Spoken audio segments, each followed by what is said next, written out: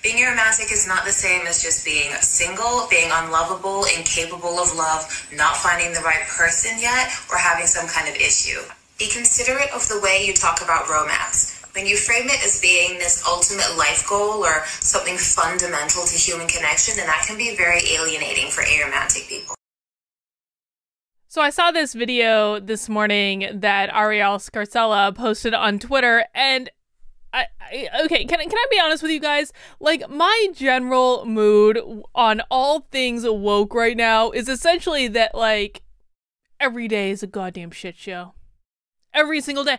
Every single day is another reminder that these people they're, they're pod people the woke are pod people. I use the invasion of the body snatchers analogy like all the time because it is just the most apropos analogy I can make. These people have very literally lost their humanity and now they're trying to strip everyone around them of their humanity so that they can feel validated in their lack of humanity. That's exactly what this is. So Ariel was talking about this new phenomenon called aromantic.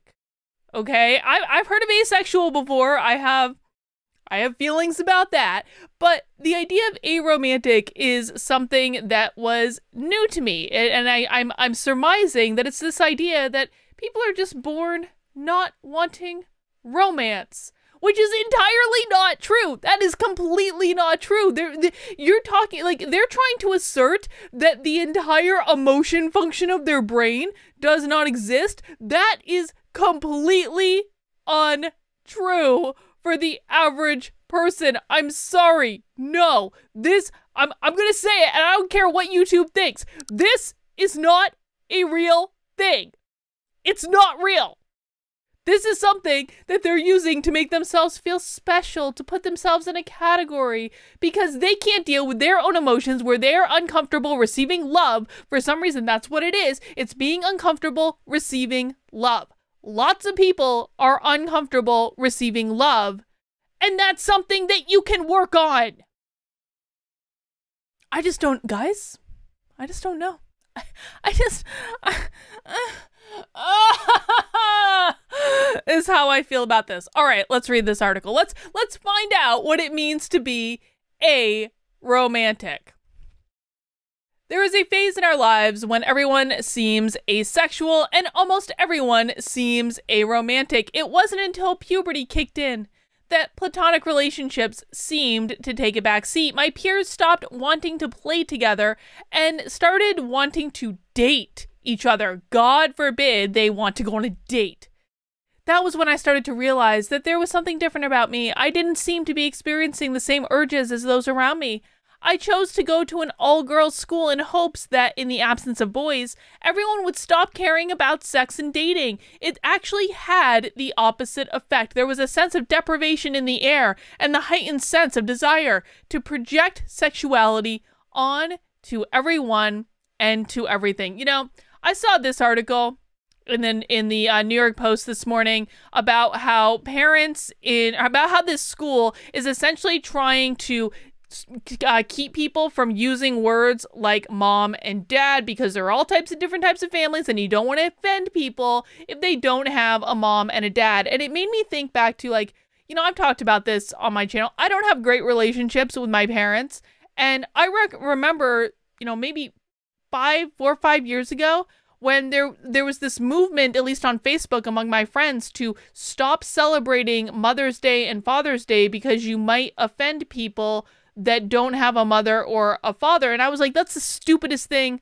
I've ever heard in my life. Like, I don't have great relationships with my parents, but it doesn't bother me for someone else to to celebrate that. And the same with this. It's like if if you want to live a life of asexuality, if you feel like you were born, eh, like, eh, fine, fine, fine. You don't have to have sex. That is a choice that you can make. If you don't want romance in your life, that is a choice that you can make. But do not deprive everyone else of a of a human experience simply because you are not electing to participate. Why do you need the validation from other people if this is really how you were born? Learn to love yourself just the way you are and screw what anyone else says or does. No one is forcing you to have sex. No one is forcing you to be in a romantic relationship, but that doesn't mean that those of us who like doing one and or both of those things should be denied that opportunity just because it makes you uncomfortable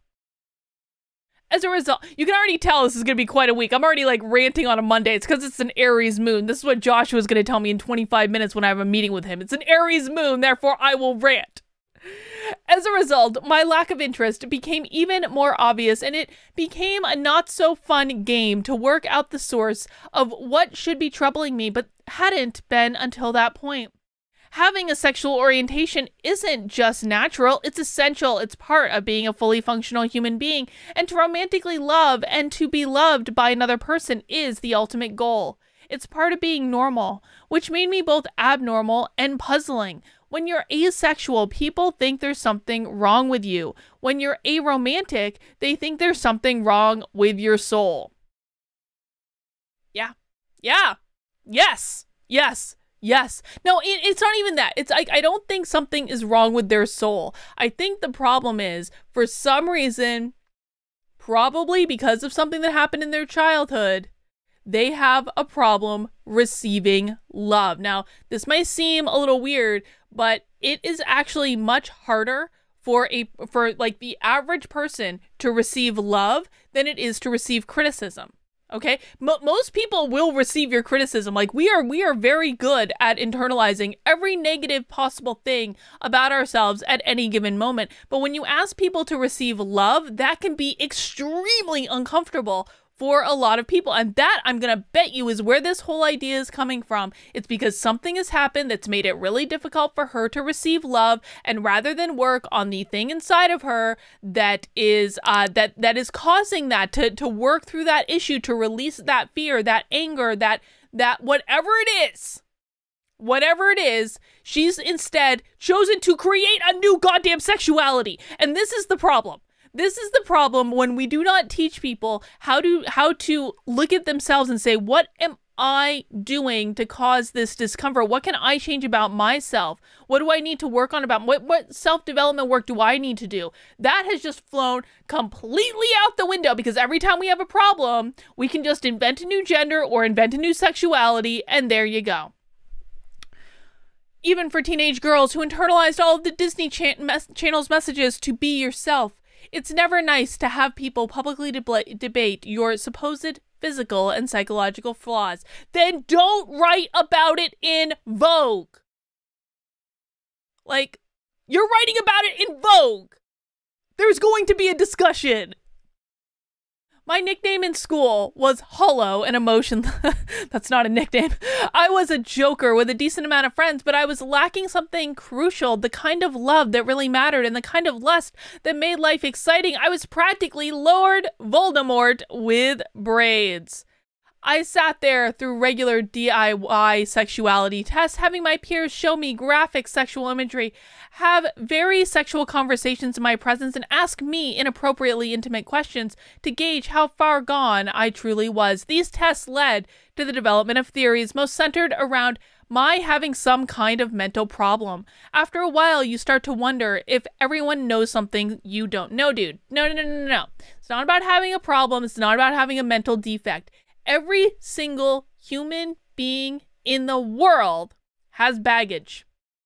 Every single one of us. If like, spoiler, if you have emotional baggage, you are not a special and unique snowflake. Every single person has that emotional baggage. How you deal with that baggage? Do you blame it on other people or do you use it as something to to uh, put yourself into some sort of development program to change, to grow, to expand beyond it, to release whatever pain you have. That is your choice. But just because you have emotional baggage doesn't mean you have a mental problem. And the and and when you frame it like this, you're only putting obstacles in your own way to from from reaching another height of personal development. You can work through all of these issues. Most people have to at some point in their lives. But the minute that you say, well, you're just saying I have an emotional problem, what you're doing is you're digging your heels and you're saying, this is just who I am. I don't have to change anything. Well, you don't have to change anything, but you are the only person that suffers. You're the only person that suffers by refusing to do the work, as it were, to to move past whatever caused you to not be able to receive love in the first place. All right, we're going to skip this next paragraph because there's stuff in it I can't say on YouTube. Um, but I will link the article in the description below and you can go and read it for yourself. But let's see. Uh, I was referred to as stupid. I started to believe that was the case. It would impact my experience in education for the next eight years, long after I realized there was a word for what I was asexual. I had heard the word during one of my near daily sexuality tests that I was subjected to. I was asked if I was gay, to which I said I wasn't interested in anybody like that, man or woman. At 15, I was asked, maybe you're asexual or something, but it wasn't quite the light bulb moment. How could it be when I had never heard the word outside of biology class? After an evening of Googling, I realized that there were many people with my exact experience, complete strangers whose stories sounded so strangely similar to mine. I also stumbled across the word aromantic at that time. I didn't understand the need for it. Wouldn't all asexual people be aromantic? A romantic relationship without sex is just friendship with rules, I thought. Most asexual people don't dress like this on the internet. I'm just saying, people's actions will always tell you what they're really doing. Don't listen to their words, you look at their actions. They will always tell you. Don't tell me you're asexual when you're dressing in lingerie on the internet. I'm sorry, I don't believe you. I don't. Sorry. It's definitely an Aries moon on a Monday, I'll tell you what.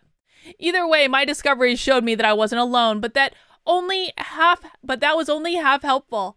I now had an identity that no one heard of or understood. Most didn't believe that being asexual or aromantic was a real thing, and I doubted it too, a natural consequence of years of armchair pathologicalization. If asexuality was real, why didn't no one tell you that being sexually attracted to nobody was an option? What if it was just an in- internet identity made up to comfort people with all the issues that had been attributed to me? The ironclad wo- the ironclad law of woke projection in action right here, right in this sentence. What if it was just an internet identity made up to comfort people with all the issues that had been attributed to me? What if it was just made up on the internet indeed? I didn't have to go down the rabbit hole to realize that asexuality, like many other heteronormative identities, had been medicalized. What I had experienced was just the tip of the iceberg as someone who hadn't been prescribed drugs I didn't need or subjected to unnecessary hormone tests. I was one of the lucky ones. My activism would be my gateway to the community, despite being the ugly friend at school. I ended up being a model while at university. I decided to use the platform I had gained through my career to raise awareness for asexuality and a romanticism. And listen, like I actually don't have as much of an issue with the asexuality bit as I do with the aromantic bit. I'm sorry. Like the a- the asexual thing I think is a real thing. I think, you know, I don't want to get into it here. I think that's actually a real thing. I do not for one second believe that aromanticism is a real thing. I'm sorry. I don't believe it in any stretch of the imagination. It gave me the opportunity to encounter a range of asexual and aromantic people offline, and then it was then that I had learned the significance of having an aromantic identity. There are many asexual people who still feel romantic attraction, as well as aromantic people who still feel sexual attraction. They have their own range of experiences, their own culture, their own flag! Their own flag! It can't be an identity if you don't have a flipping flag. And like the asexual community, I was relieved to see that they are just normal people. These intersecting communities are not stereotypes. They aren't just 13 year old pink haired kids making up Tumblr identities to feel special. They were par- they were parents. Wrap your head around that. They were parents. They were par- I'm gonna I'm gonna let you know on a secret. To become a parent you probably have to do something. they were parents, lawyers, academics, husbands, girlfriends, artists, black, white, young, old, and differing feelings towards the many complex elements of sexuality and intimacy. Most importantly, they were happy. More Instagram. I was proud to be part of both communities, and I know that as someone who is asexual and aromantic, I'm a complete person and can live a perfectly fulfilling life. Well, yeah, I mean, you can probably live a perfectly fine life, but dude, I'm sorry. Like, if you are not allowing yourself to receive love, your life is not going to be as fulfilling as it could be. And I say this again as someone who, like, I struggle with this all the time. Joshua yells at me about this like all the flipping time. All the he doesn't yell. Joshua doesn't yell, but like he he he he he pushes me to be better at receiving love all of the time. It is a struggle, especially with when you have issues that you are working through. I totally get it. But I also know that you know, calling myself an aromantic is not going to actually solve the problem, and it's not going to lead me to having the most fulfilling life that I possibly could. Over the years, I've become more open about my identities, and I've often been met with a sympathetic reaction. You must feel like you're missing out. I can't imagine being like that. It must be hard for your family. Do do you worry no one will want you? How do you handle being so lonely? You're so brave and strong. What will you do with your life now? Even in 2021, a woman who isn't romantically loved or sexually desired by their special someone is perceived as being afflicted with some kind of life limiting condition. Asexuality doesn't make you undesirable or unable to desire others. It is a unique experience of sexuality, not a deprivation from it. Even if it was, there is so much more to life than what turns us on and what we do about it. Romantic love is just one form of love, neither superior nor inferior to any other. Being aromantic doesn't mean that you can't be that you can't love or be loved. It doesn't mean you are void of emotions or capabilities. I'm still waiting for her to get to the definition. We're like, what, seven paragraphs into this article? I'm still waiting for her to get to the definition of what it actually means to be a romantic. And when you have this hard of a time defining something, there is a reason for it. I feel confident. Wait, hang on. I am not lonely with my friends, family, coworkers, and supporters. I feel confident when I meet my goals and form worthwhile connections and others rather with others rather than someone wants to date me. My success isn't determined by whether someone will want to marry me. You're dude, You do not need to create your own sexuality in order for your success in life to not be determined by if someone wants to marry you. That's true regardless. There are very successful people that have had very successful careers that have never gotten married. Oprah is not married. No matter what you think of her, she's not married, dude. You can be successful and not be married. Doesn't mean you create a whole sexuality. What we want out of life is our decision alone. Our sources of happiness should not be defined by our ever changing culturally relative social standards. The love of a romantic partner won't complete me because I was born complete. Everyone is born complete. Everyone. Why? Like, okay, so she's basically written this whole article to validate her lack of ability to receive love and at the same time insinuating that anyone that can receive love just wasn't born complete and they need someone else to complete them. I'm sorry, what? That makes absolutely no sense. Feeling sexual attraction to others won't liberate me because my liberation is not dependent on other people. Valentine's Day is an occasion that amps up the focus on and the pressure to achieve a very specific type of love and sexual expression, one that is actually alienating people from for people inside and outside the asexual community. During a pandemic, when many relationships have been strained, tested, formed, or distanced, it's important to keep the diversity of romantic and sexual feelings in mind. Yes. During a pandemic, this is what we should be worried about. People who don't want to date Many expect me to feel annoyed or lonely during this time of year, but I actually feel empowered and excited by the way sex, romance, and love are discussed more deeply around this time. These conversations are constantly expanding to become more inclusive for everyone. And that's what we need to see all year round. So we had an entire article about validating that aromanticism is a sexual identity. And she didn't even define it. Didn't even define it. Didn't even define it. Dude, here's the thing. I, I actually do agree with a portion of her article, but not for the reason that you might think. I agree with a portion of it in that I do not believe that we need other people to define us. I also don't believe that we need to mold our life around what other people perceive as socially acceptable. These things are completely true. And yet, and yet, they can be true without creating another sexual identity that has that has no basis in sense whatsoever. Dude, if you don't want to date, don't date. If you don't want to have sex, don't have sex. If you don't want someone to take you out to a candlelit dinner, then don't go out to dinner. I don't know why these people need everyone else in to validate their identity when at the same time they're saying I don't need anyone to validate my identity. Then why are you claiming that you do? Then why are you trying to generate awareness for something that just live your life, dude. Live your life, be happy, do what you want to do, don't do what you don't want to do. It's really not that hard. These people are going to drive me insane. I, I genuinely feel like I'm watching everyone around me slowly descend into madness from all of this. And I, I mean people from both political sides. I feel like both political sides are just slowly descending into madness. Ah, oh, dude, dude, dude. That's all I got for right now. I'll see you soon.